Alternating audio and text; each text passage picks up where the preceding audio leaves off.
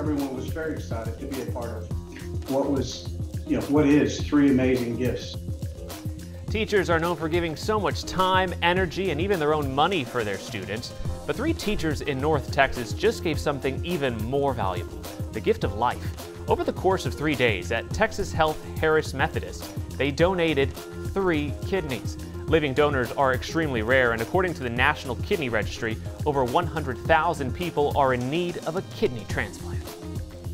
Was a no-brainer for me. I was just like, why wouldn't I do that? I could see God's hand in all of this. From the time that I decided to do it till the dates lining up to a recipient being found,